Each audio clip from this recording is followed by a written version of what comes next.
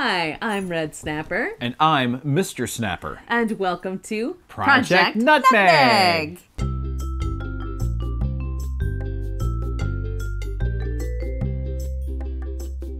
Yay! Oh, you. Oh my goodness. We shopped at the Aloha Stadium swap meet when we were in Oahu last year. Plug for the Aloha Stadium swap meet. We were on the hunt for matching outfits for the three of us, since Coca hates wearing clothes. She's a natural nudist. We couldn't find anything with matching fabric that included a dog dress. We're tourists. Obviously, we have to get matching outfits. It's, it's mandatory. But we couldn't find one with a dog dress. It's very bougie. Yeah. That's when I got the insane idea to buy a baby dress and convert it into a dog dress. She's laying down. Dog dresses by themselves, you can buy dog dresses in the sort of aloha shirt fabric. The dog dresses by themselves were like 30 bucks a piece.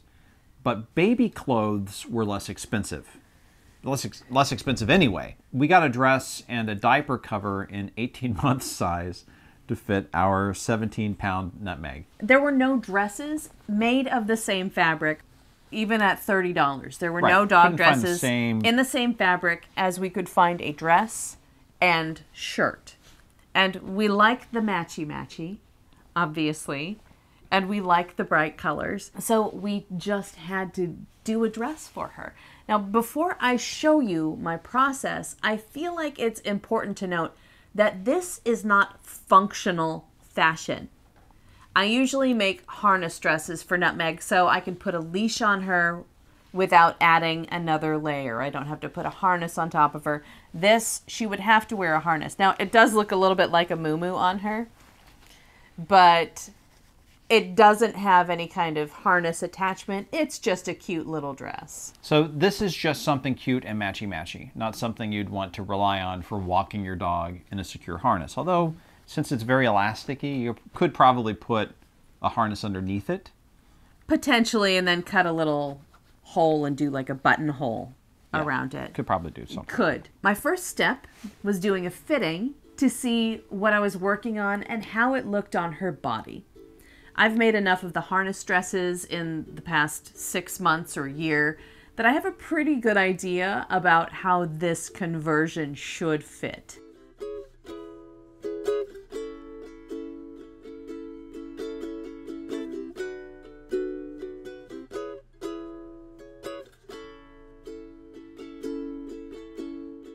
When it was time to work with the baby dress, I folded the front to find the center front and then I pressed that line with my finger a few times.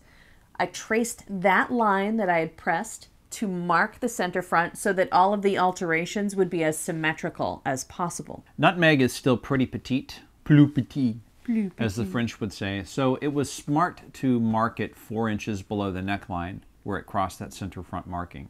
I know you didn't worry about adding a seam allowance. It didn't really need a seam allowance. I mean, since I was basically scooping out the lower front part of the dress, I established these markings along the way to guide my tapering. So that was four inches center front, and then I measured five inches below the outer edge of the sleeves. So it was like here, five inches below that, and then I made little markings. And then I took a French curve, which you could use any kind of curved thing that's the right sort of shape.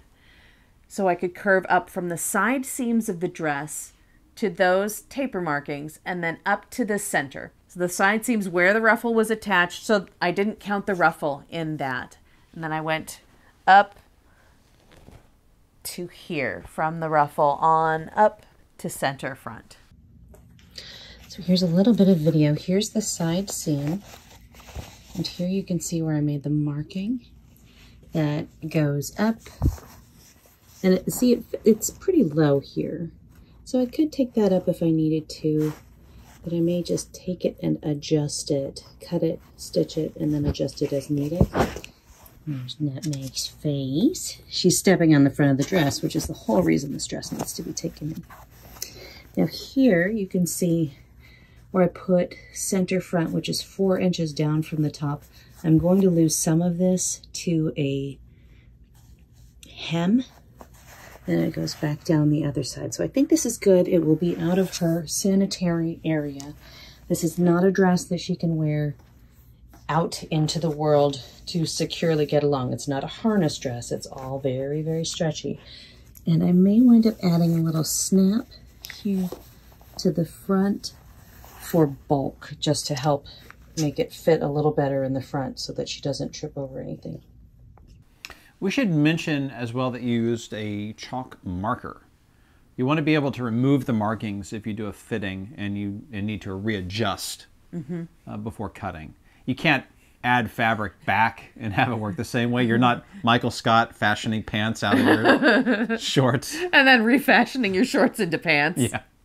I smoothed out the wonky lines and then I did one more fitting before I cut the dress. So I put it on her and then I looked at where the lines sat.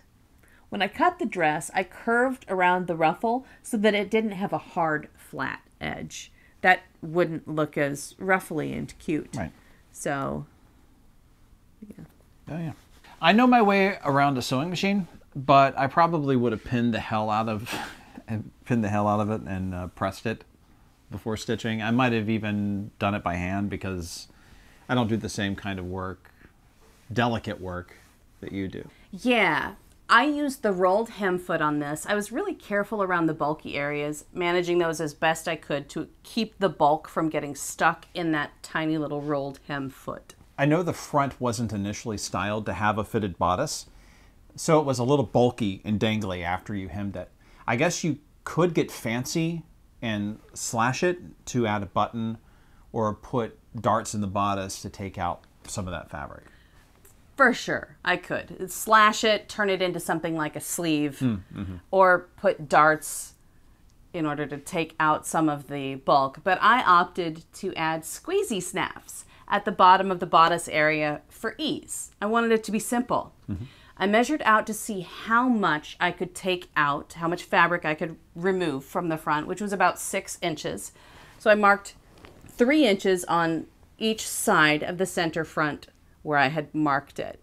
And then I flipped it over. I added some fusible interfacing to support the fabric that would hold those snaps. I love those snaps. Um, I helped with the snaps because they require a strong squeeze, and that's just one of the many, many things I do around here. Squeeze! I I do love those little plastic snaps, like I said, um, because they're very colorful, and you can try to match the print or choose nice accent colors. Uh, we've linked to the ones that we used for this garment in the show description below. And it's the same snaps that you're using for pretty much all our harness dresses that don't have Velcro. Absolutely. And I avoid the Velcro now as much as possible because I don't want it to snag, snag. yeah. And it's a pain to sew, and it's really easy to work with the snaps. Snaps are super easy. For sure. The work on this dress was pretty easy, and I can't believe it took me nine months from our trip to get to this point and get the dress done. It took nine months for it to Gestate. gestate. Yes. Pregnant. Pregnant with the idea.